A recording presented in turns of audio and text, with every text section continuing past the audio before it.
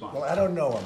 I don't know Parnas, other than I guess I had uh, pictures taken, which I do with thousands of people, including people today that I didn't meet, but uh, just met him. Uh, I don't know him at all, don't know what he's about, don't know where he comes from, know nothing about him. I can only tell you, this thing is a big hoax. It's a big hoax. Uh, We call it, uh, this is the current hoax. We've gone through the Russian witch hunt. Uh, We've gone through a lot of them, from probably before I came down the escalator, but certainly since I came down the escalator, you take a look at what's happened. And But in he the says meantime, that- our he says country, that it you doesn't knew matter what he you says. were- he He's says trying that to you knew probably what make a deal for himself. Giuliani was doing in Ukraine that you knew what. I don't was even know doing who in this Ukraine. man is, other than, I guess he attended fundraisers, so I take a picture with him.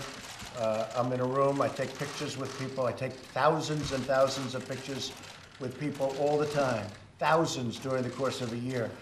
Uh, And it- oftentimes, I'll be taking a picture with somebody, I'll say, I wonder what newspaper that one's gonna appear in.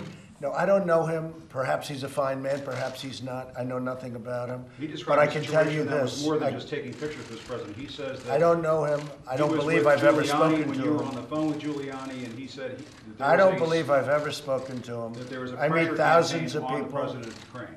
I meet thousands and thousands of people as president. I take thousands of pictures, uh, and I do, I, and I do it openly and I do it gladly. And then if I have a picture where I'm standing with somebody at a fundraiser, like I believe I saw a picture with this, this man, but I don't know him, I had never had a conversation that I remember with him. So when he Uh, says Certainly, let me just tell you, you just have to take a look at the polls. Quiet. You just have to take a look at the pictures, you just have to take a look at the polls. You see, I don't need anybody's help. We're doing phenomenally well. The economy is the best it's ever been. It- We have never had an economy like this in history.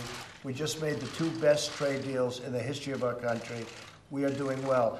I don't need the help of a man that I never met before, other than perhaps taking a picture at a fundraiser or something, if that's where it He was makes taken. it sound like